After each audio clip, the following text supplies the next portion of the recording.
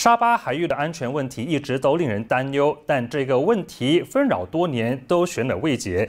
而这一次，菲律宾绑匪再次猖獗的在我国海域将三名印尼籍的渔夫给掳走。另一方面，亚比一间购物商场内发生了殴斗事件。来看发生在沙巴的社会新闻。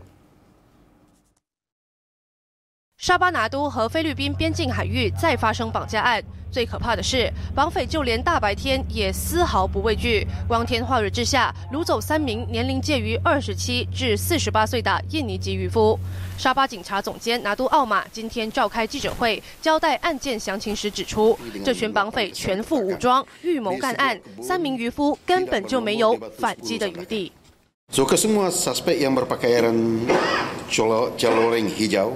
bertopeng muka warna hitam dan lengkap bersenjata api telah naik ke kapal pengadu dan mengarahkan ke semua kru berkumpul di bagian hadapan kapal. Ini kapal yang pertama. Kan, eh? Ke semua kru diacukan senjata api dan suspek bertindak merampas semua telefon bimbit, dokumen pribadi dan juga wang tunai milik kru kapal.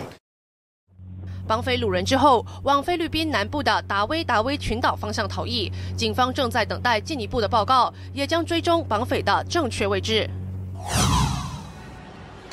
另一方面，沙巴亚庇一座购物商场发生两批人马殴斗的事件。社交媒体自昨天起疯传这一段影片，当中可以清楚看见双方用椅子等硬物互相攻击对方，丝毫不理会周围的民众。亚庇警区主任哈比比证实，已经接获投报，警方将根据短片内容展开调查工作。马新社新闻台采访报道。